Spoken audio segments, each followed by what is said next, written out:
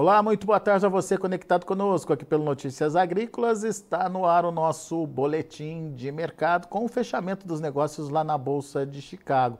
Dá para dizer que foi uma semana de recuperação dos preços para a soja lá na Bolsa de Chicago. A gente viu aí o vencimento que se refere né, aos contratos ou aos negócios da safra americana, vencimento novembro, voltando para os 10 dólares por bushel. Um dia, mais um dia, aliás, positivo para os preços lá em Chicago. Ou seja, uma tendência de alta sendo desenhada. Será que tem fôlego para continuar? O que, que justificou essa mudança é, de humor lá na Bolsa de Chicago? Enfim, quem explica para a gente é o meu amigo Aaron Edward, direto lá dos Estados Unidos, da Sistema Manancial Consultoria. Seja bem-vindo, Aaron, mais uma vez aqui com a gente. Uma semana de recuperação de preços, mas é uma recuperação suficiente para é, trazer de volta a alegria do mercado, Aaron? Seja bem-vindo. Ah, boa tarde, obrigado. E olha, notícia ruim não é, né? Depois do ano que foi em relação a preço em Chicago, qualquer semana que não caiu parece que, que é, uma, é um motivo de otimismo. E, e certamente essa semana foi, foi uma recuperação, né? trouxe força. E tecnicamente a gente terminou a sexta-feira em tendência de alta, acima da média móvel de 20 dias. Então, essa é notícia boa e é uma notícia importante. É uma notícia boa, é uma notícia importante, mas é, precisa ser, na minha opinião, a gente tem, tem que ponderar a dimensão dessa notícia, né? E agora para onde a gente vai? O que, que vai acontecer nesse mercado? É, ainda é uma tendência de alta, eu colocaria bastante frágil dentro do mercado.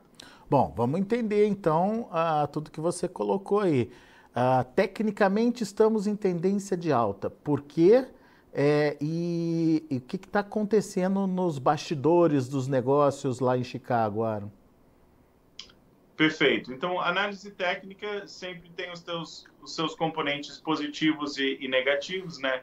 Erros e acertos, mas Via de regra, eu, eu uso a média móvel de 20 dias para ver tendência de mercado, porque uh, o, o, capital especulativo, o dinheiro grande do mercado de soja de milho, ele se assemelha muito a essa tendência. Então, quando é, o mercado está acima da média móvel de 20 dias e a tendência é de alta, via de regra, os especuladores se desfazem de posições vendidas ou geram posições compradas. Então, quando está em tendência de alta, pressão especulativa de alta.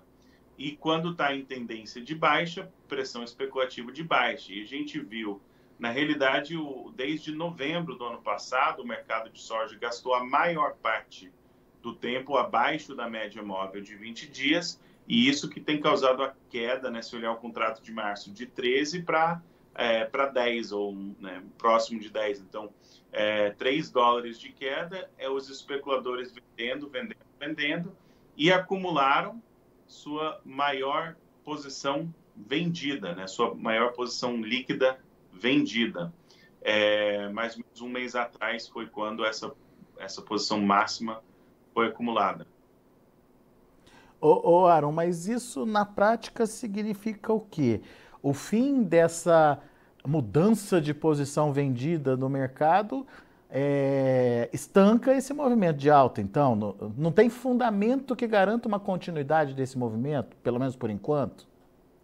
É, não, não tem, não tem garantia. Então, para mim, é qual que é o. Vamos pensar assim, para o produtor que quer preços altos, qual que é o melhor cenário? A gente entra em tendência de alta, os especuladores é, se preocupam com esse mercado e aí eles se Especula desfazem Especuladores que estão vendidos, com posições vendidas. É, eles estão vendidos em tendência de alta, eles estão do lado errado do mercado, tendo que recomprar uma posição do lado errado do mercado. Vendidos em um mercado de ascensão e eles têm que se desfazer, né, têm que cobrir as suas posições e aí seria aquela famosa recuperação em V, que né, pressão especulativa de baixa, não conseguiu cair mais, pressão especulativa de alta, enquanto eles estão saindo de suas posições cobrindo. Isso seria o melhor cenário possível. O, o, o pior cenário para preço seria os especuladores, né? Neutralizou aqui na média móvel de 20 dias, tentou, não conseguiu, teve mais uma pressão de venda aí, a gente tem mais uma queda ali e talvez vai testar né, 9,20 ou alguma coisa assim, que é o, o limite do, do seguro para muitos produtores. Isso seria a pior situação que eles voltam a vender. Na minha opinião, o mais provável, se a gente pensar em todos os fatores, o mais provável para mim é que os especuladores já estejam pensando que eles querem sair de suas posições, porque vai que tem uma quebra de safra no Brasil, vai que tem uma quebra de safra na Argentina, vai que o produtor é, norte-americano não exerce muita pressão de venda na safra. Então, as incertezas que podem ser positivos para preço eu acredito que em breve vão fazer com que os especuladores queiram sair do mercado da posição vendida. Então, eles vão reduzir essa posição vendida, é, mas eles não vão fazer isso no desespero. E na mesma medida, se o preço subir um pouco e a soja trocar de mãos, o produtor americano vai exercer pressão de venda. Então, a minha opinião sobre o cenário mais provável para setembro é que a gente vai estar tá lateralizado um preço lateralizado, um pouquinho de alta, um pouquinho de baixa, mas é, marcando o tempo no calendário para os especuladores conseguirem se desfazer de suas posições vendidas e os produtores dos Estados Unidos que precisam fazenda, fazer vendas conseguir fazer suas vendas. Então, eu acho que o cenário mais provável é um, um mercado mais lateralizado ao longo de setembro. Mas nesse é... patamar dos, dos 10 dólares já? É, um pouco acima de 10, um pouco abaixo de 10. E depois disso, depois que o, o, né, os especuladores né, saírem de suas posições vendidas, depois que os produtores fizerem as vendas, aí do outro lado da safra, aí o carro-chefe da narrativa safra americana, né, mas aí o carro-chefe em outubro e novembro vai ser o plantio no Brasil. Se o plantio no Brasil está indo às mil maravilhas, esse mercado pode ter outra rodada de pressão de baixo se tiver algum motivo que preocupe, aí a gente pode ter um mercado em ascensão, um mercado mais forte. Então, para mim, setembro, na minha opinião, é que mais provável seja um mercado mais lateralizado, né? Não quer dizer que vai ser né, de 0 a 0 todo o pregão, mas 10, 15 pontos de alta, 10, 15 pontos de baixa e, e assim por diante. É, é, portanto, a tendência tecnicamente é de alta para os preços, é, mas você citou, é, portanto, que é uma tendência frágil, justamente por essa possibilidade é, dos investidores aí tentarem estancar aí um movimento, é, uma continuidade das altas, certo? Exato. Eles não querem uma recuperação em V, porque eles não querem abrir mão do lucro, né, das posições vendidas. Então eles vão, se começar a subir, eles vão fazer de tudo para não, não né, sair do desespero. É, então, eles vão querer limitar o ganho e o produtor norte-americano tem venda para fazer. Então, acho que a subida não vai ser aquela recuperação em V, eu acho que vai ser ficar vai ser aquela escadinha que leva bastante tempo para subir.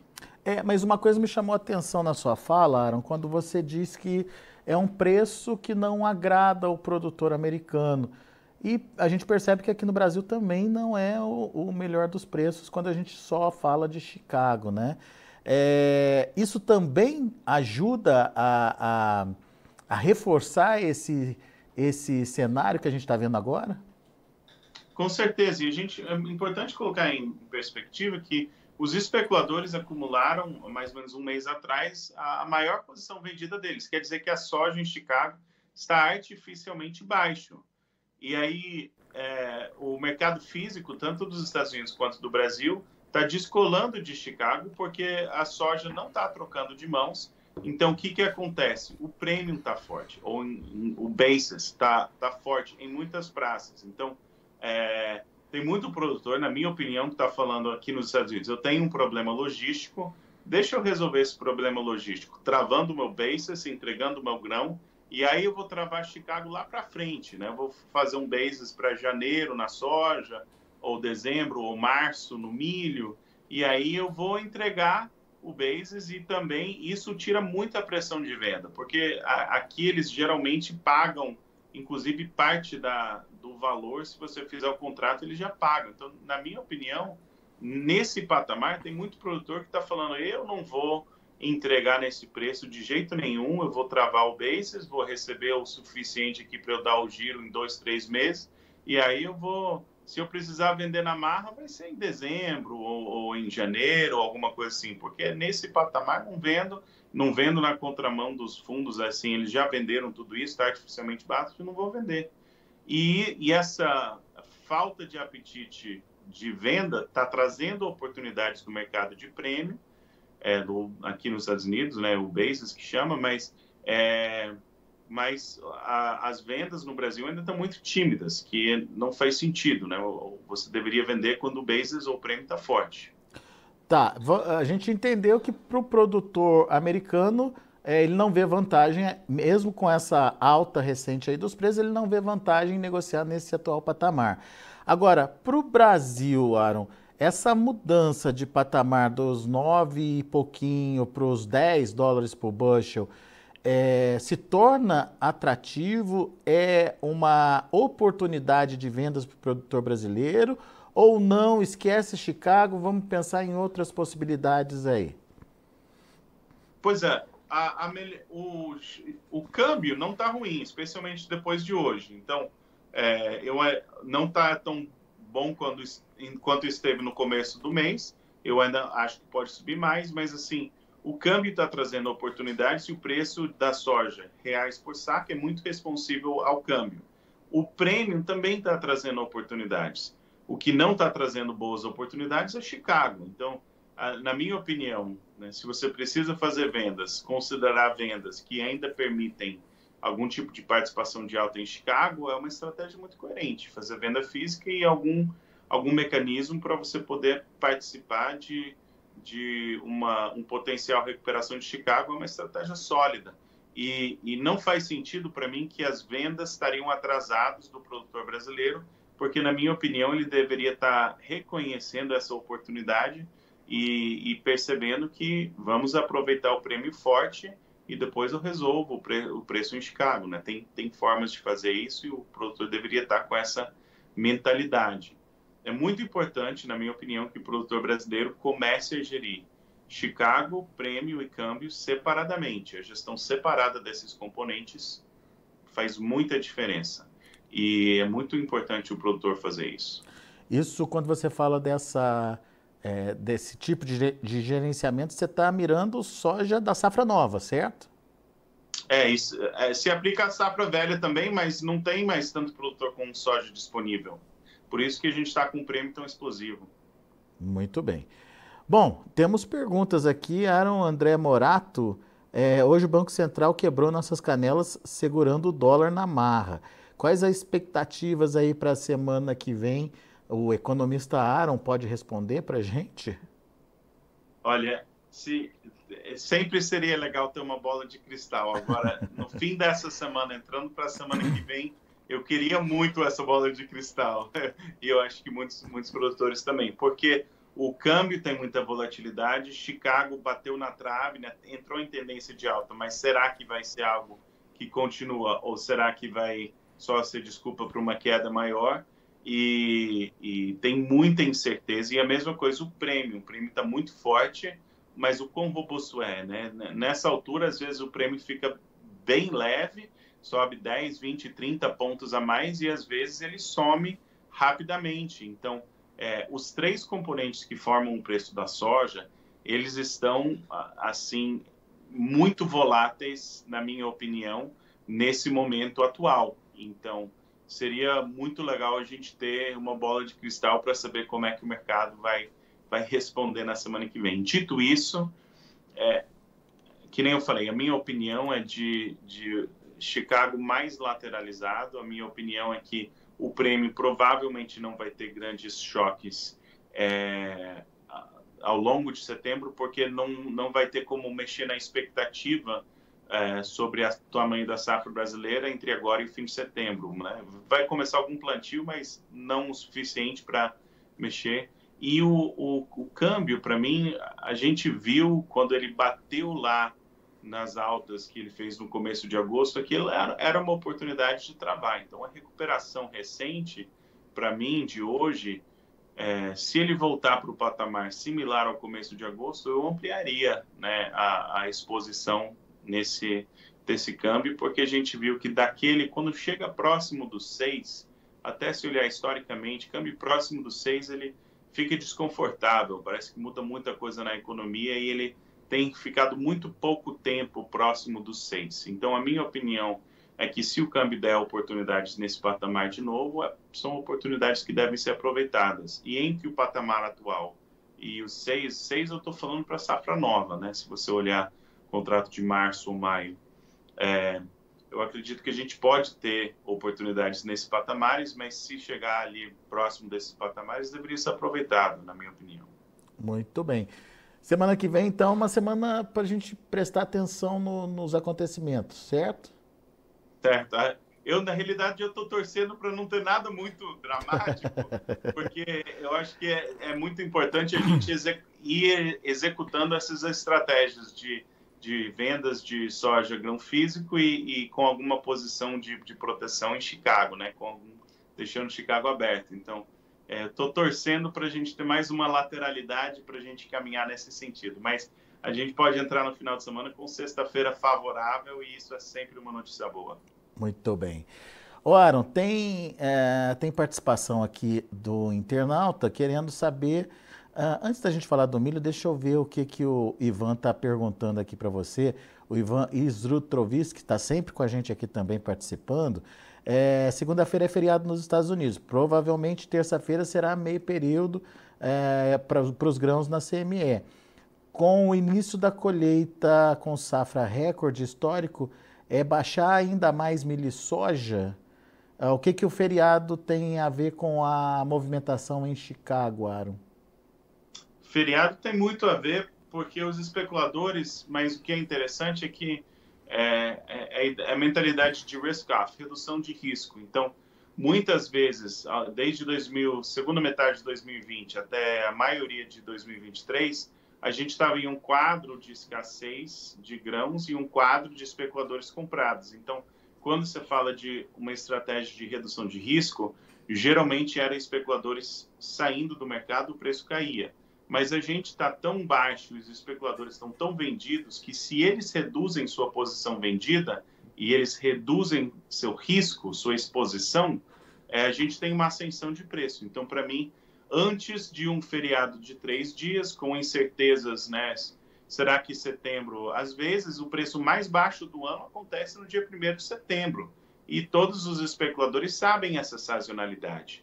Então, a, a, a ascensão de preço, para mim, ao longo dessa semana, foi os especuladores falando: a gente realmente quer continuar vendendo ou será que já não está bom a festa e será que a gente já não deveria sair? Vamos saindo, pelo menos um pouco. Saiu, saiu, saiu, entrou em tendência de alta e agora tá, fechou o mercado. Vamos ver, que, que nem você falou, vamos ver terça, quarta, como é que está esse mercado se abrir em tendência de baixa, se abrir pesado, talvez os especuladores falem, então a rocha aí, vamos dar mais uma rodada de venda que esse mercado, vamos levar esse mercado, né, 50 pontos mais baixo, vamos, né, na euforia talvez ele caia e faz aquela, aquela ponta, né, que é, é praticamente chega no ponto de, de racional, mas o mercado às vezes faz. O que eu acho que é mais provável é que, de uma forma bem pé no chão, tem que lembrar que eles começaram a desfazer de posição comprada e estabelecer posição vendida novembro de 23. Então, eu acho mais mais provável, plausível que eles estejam assim dentro. Qual que é o plano dos grandes fundos? Acho que o, o mais sensato é que que o, a, a, palavra de ordem é que eles falam: vamos sair dessas posições vendidas, mas vamos, vamos sair da posição vendida, mas vamos saindo aos poucos para não, não deixar esse mercado subir e ver o, o lucro correr pelas mãos, né? Então, eu acho que os especuladores estão tentando sair de suas posições sem fazer grande alarde, sem, sem ter grande, é, enfim, sem causar aquela euforia de alta e uma, uma inversão de mercado. E a forma mais sensata de fazer isso é aos poucos e procurando pressão de venda de produtor norte-americano e por isso que eu acho que setembro, muito provavelmente, vai ser um mercado lateralizado em que os especuladores estão tentando reduzir suas posições e o preço sobe aos poucos até achar um pouquinho de pressão de venda do produtor norte-americano. É, o André Morato está falando que sábios são os chineses que estavam passando o rodo na soja quando estava aí na Bacia das Almas. Aproveitaram para é, comprar. É, aí, é, comprador e vendedor. Se o, se o meu emprego fosse comprar soja, o que, que eu faria? Eu estaria comprando um monte de soja em Chicago, porque no físico não dá, porque no físico o prêmio está alto. Então, vou comprar um monte de soja em Chicago. Aí, quando o prêmio baixar, eu troco esse inventário em Chicago o inventário físico, embarco e faço, faço a festa. E a, a China e qualquer comprador inteligente, eu, se você é um comprador, eu estaria aproveitando para comprar essas posições em Chicago. Então, geralmente, o vendedor deveria se colocar né, no lado oposto. Então, o que, que seria? Se eles não querem comprar no mercado físico, eu quero vender no mercado físico. E eu quero estar tá, né, junto no, no, na, no mesmo lado de Chicago do comprador. Né? Se ele quer comprar, então também quero. É, então, fazendo venda física, que ele não quer tocar a venda física porque está caro a soja por causa do prêmio, ele vai comprar em Chicago. É, e assim, por que não, né? Aí a, a, dúvida é, ah, mas o Arão falou que ia subir Chicago. Não, pode ainda cair, mas entre agora e o fim de outubro, se a baixa não foi no meio de agosto, acho muito provável que seja dentro do próximo mês. Então, fazer uma média, né, errar um, por um pouco, né, fazer uma média da, das seis semanas mais próximos da baixa e vendendo no mercado físico para travar o prêmio faz sentido. É, é uma estratégia de gestão de risco coerente. Muito bem. Uh, agora sim a pergunta do Rogério Medeiros. Ele quer saber um pouquinho da sua perspectiva aí para o milho, Aaron. O milho no Brasil, quem, uh, os estoques do Brasil estão, e isso é normal, mas eles estão relativamente apertados. Então, o mercado de milho físico no Brasil, ele só deve ficar cada vez mais leve, pelo menos até o fim do ano, na minha opinião. Vai, a gente vai ter um mercado gradativamente ganhando força. A questão é que a maioria dos produtores não consegue segurar esse milho em, né, em bem armazenado, com caixa é, sob controle próprio, né, armazém próprio, até mais próximo do fim do ano. Mas deve ficando leve. Onde tem muito milho é nos Estados Unidos ou em Chicago. Então, a, a situação de Chicago, para mim, em relação ao milho, é muito similar à soja.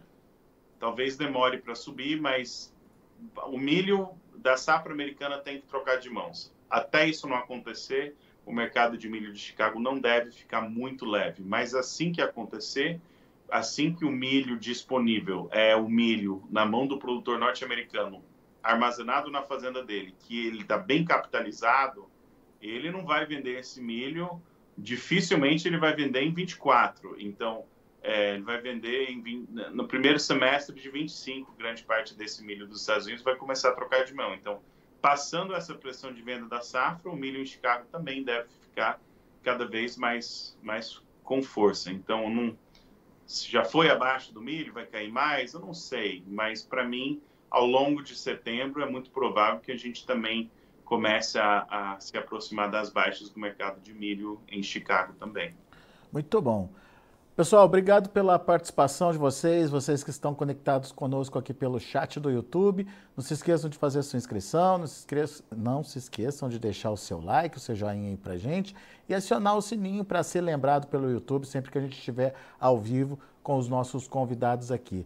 Faça como o André Morato, o Rogério Medeiros, o Ivan, uh, sempre participando aqui com a gente, sempre interagindo e principalmente tirando as dúvidas aí junto aos nossos convidados. Ao meu amigo Aaron Edward, mais uma vez, muito obrigado, Aaron, pela disponibilidade de estar aqui com a gente. Volte sempre. Abraço. Abraço para você. Tá aí, Aaron Edward trazendo as informações de fechamento do mercado da soja, um fechamento positivo na sexta-feira, um fechamento positivo na semana. Vamos ver como encerraram as negociações. De olho na tela, você acompanha comigo. Setembro, 9 dólares e 82 centos por bushel, 8 pontos mais 25 de alta. Novembro, 10 dólares cravadinho ali, 7 pontos e meio de elevação. Janeiro, 10 dólares e 17 centos por bushel, 8,25 de elevação. E o março, 10 dólares e 31 centos por bushel, subindo 8 pontos mais 75. Esse foi o dia finalizado com a soja. Vamos ver para o milho. Para setembro, 3 dólares e 78 centos por bushel, subindo 6 pontos mais 25. Para dezembro, 4 dólares e 1 cento por bushel, uma alta de 5 pontos. A mesma alta para março, que fechou a 4,19, e o maio de 25, 4 dólares e 28 centos por bushel, subindo 4 pontos mais 25. E para finalizar, a gente tem o trigo, que para setembro fechou com alta de quase 8 pontos a 5,32. Dezembro, 5 dólares e 51 centos por bushel, subindo 2 pontos mais 75. O março, 5 dólares e 72 centos por bushel, 3,25 de alta. E o maio, 5,83, subindo 3 pontos e meio.